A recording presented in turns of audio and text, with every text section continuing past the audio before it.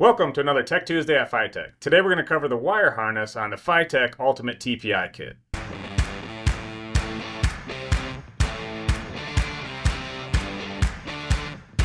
One of the key components of the TPI kit that makes it different from most other kits is that it's able to work with a computer controlled distributor.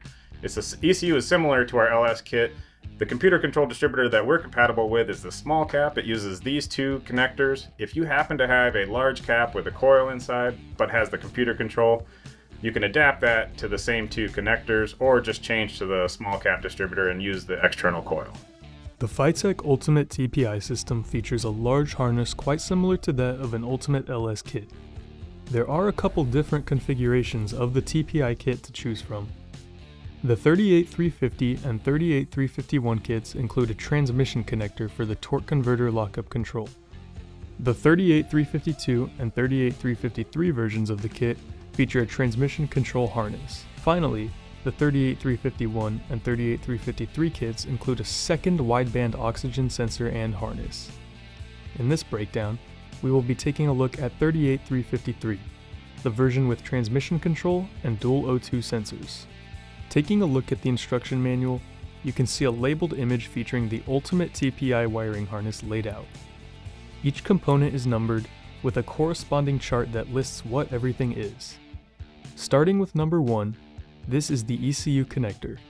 The ECU of the TPI system is in a housing just like that of the LS and connects in the same way. Next after that is the positive main power wire. Then, you'll see the red key-on wire, after that is the accessory harness, which features a couple different wires. This includes the yellow brake wire, blue fan wire, brown AC wire, green fan wire, black speedometer wire, and white tachometer wire.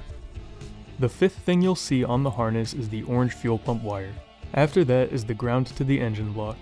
Then you'll see the transmission connectors. These would be used for either the torque converter lockup control or transmission control, depending on which version of the kit you have. After that is the passenger side O2 connector. This one will only be found on the kits that feature two O2 sensors. The ninth item will be the fuse and relay box. This chart from the instructions explains the function of each fuse. After that is the distributor wire. This plugs into the small cap controlled HEI that is on later model TPI engines. Then there's the EST bypass. When this is disconnected, the computer-controlled HEI will spark only at base timing. Next is the knock plug. A knock sub-harness is included with the kit to connect it to the knock sensor. After that is the driver side O2 sensor. This one will be present on all kits.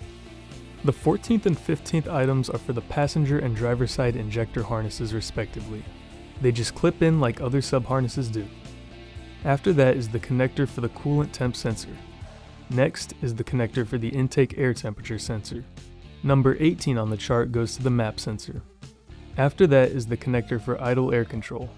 Moving on there's the connector for the throttle position sensor, and after that, the connector for the vehicle speed sensor. The final item on the harness is the handheld connection point. The chart also lists three additional sub-harnesses. These are going to be the transmission connector on 38350 and 38351 kits, the 4L60E or 4L80E connector, and finally, an adapter to connect the VSS connector to an older style VSS connection.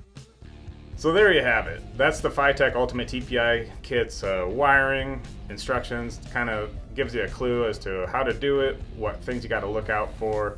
If you have any questions or comments, you can leave them below. You can contact our tech support. Hope you join us again on another Tech Tuesday at FiTech.